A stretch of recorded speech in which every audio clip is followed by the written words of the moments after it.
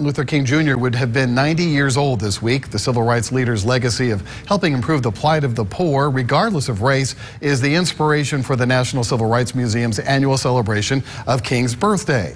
Local 24's Rudy Williams has a preview of Monday's events.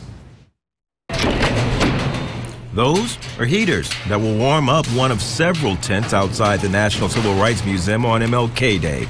So it's going to be quite a day for us. Well, this year's celebration focuses on community service and economic justice, cornerstones of the National Civil Rights Museum's work. Dr. Noelle Trent says social justice is just as important. This is an issue that's uh, constantly facing our society, right? How can we uh, get better involved? How can we be concerned about our community? Trent says the museum found those answers in a word humanitarianism.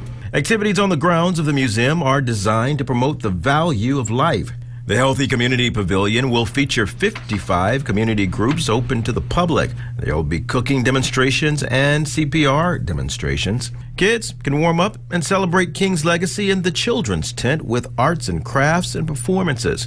The National Civil Rights Museum also teams up with the Grizzlies for their 14th annual Sports Legacy Award honoring sports greats Chris Bosh, Wayne Embry, Candace Parker, and Bill Walton. Well, one thing's for sure weather won't stop the celebration. We'll be here, rain or shine. Come and join us. In downtown Memphis, Rudy Williams, Local 24 News.